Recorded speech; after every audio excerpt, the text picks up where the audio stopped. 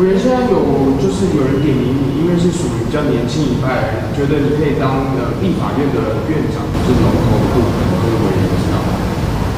这个这个现在讲这个是不是都太早？因为国会一定要过半哈，国会过半才是现在我们的优先要务吧。那我们所有选这个区域立委的，我们现在最重要的事情就是要把握每一个选区啊，赢下每一个选区啊，连任的都高票连任，然后啊，这个新参选的也都能够怎么样高票当选，拿下每一个选区，现在才是啊国民党来讲啊，所有在第一线打仗、参与立委选举的候选人最重要的工作跟任务，就是赢赢得选举了。现在韩国瑜跟呃，王金平，甚至像年轻一辈张启成、赖世宝等等，都有被点名要做这个立法院的龙头。那您心中有适合的人选吗？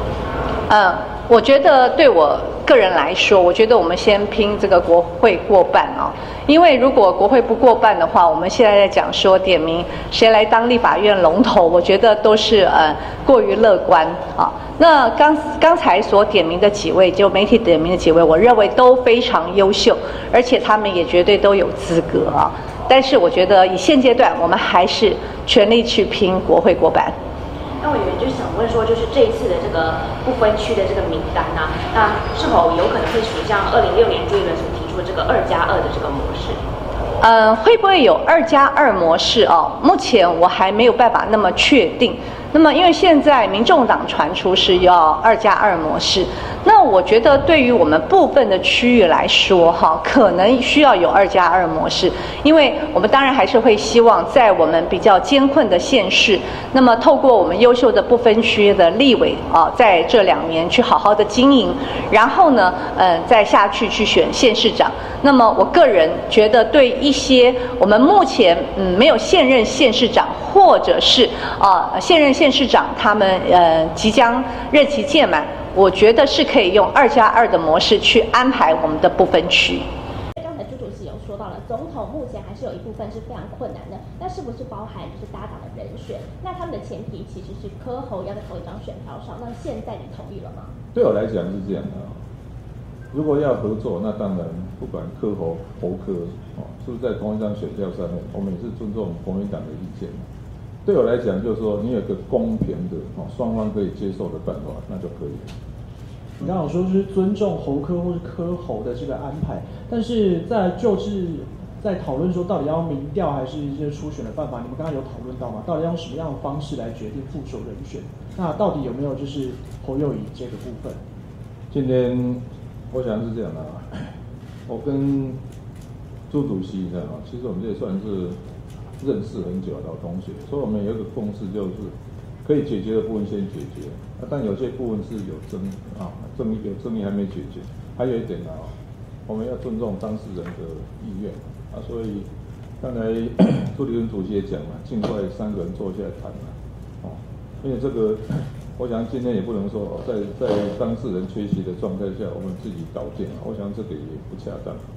啊，对了，再我再重申一遍，对我来讲是这样的啊，只要是一个公平的、公开哈，就是然后双方都可以接受的比赛方式，那当然我们就既然要合作，我们还是尊重对方的意见。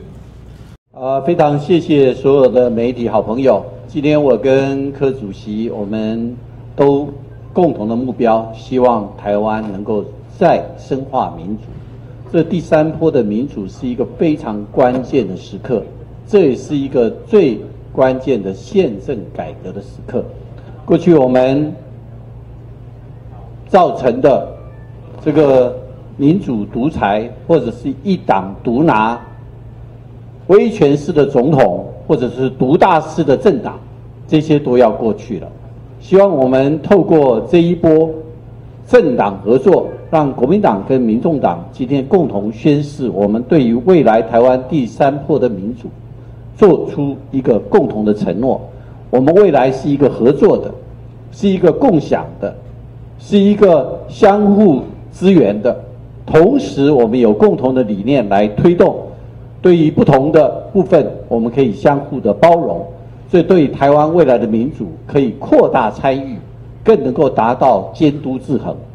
所以在这样的一个目标之上，我们持续的来堆叠善意，不管在两岸的政策、能源以及财政改革其他的方面，我们都有非常多的共识。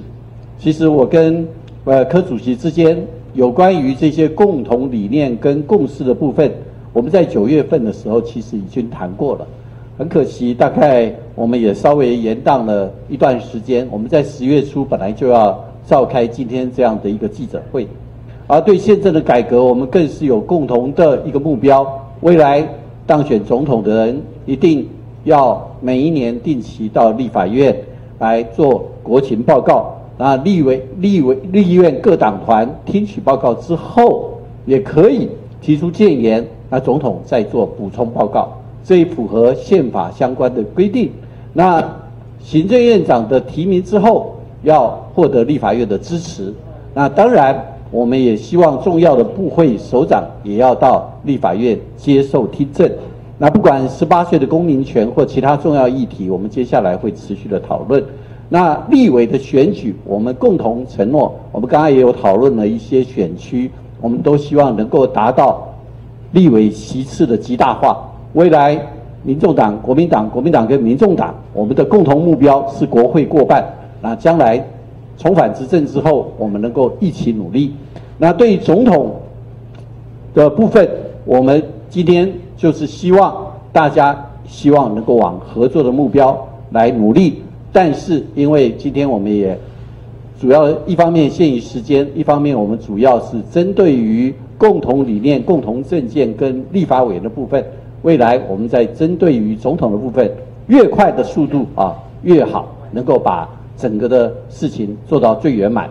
特别跟大家做一个报告。呃，为了台湾的长治久安哦，所以目前这种赢者全拿、毫无制衡哦、有权无责的政治体制是的确是需要修改。那么台湾如果走出过去那一种两极对抗的社会氛围啊，我想在二零二四是一个契机了。那所以是这样的哈，总是台湾必须往前进了哈。啊面对问题是解决问题的第一步，一定会遇到问题啊。那只是说在过程当中，大家去努力把它克服。我想今天这个会议一个很重要的意义，就是说，这也在历史上要让大家知道说哦，合作哦还是比对抗好。就是说，啊当然合作不可能百分之百完全相同的。但是就是说，大家可以一种养成一种可以互相哦讨论，然后合作的文化。我想是今天今天这场会议在整个历史上的最大意义。好，谢谢大家。谢谢柯主席。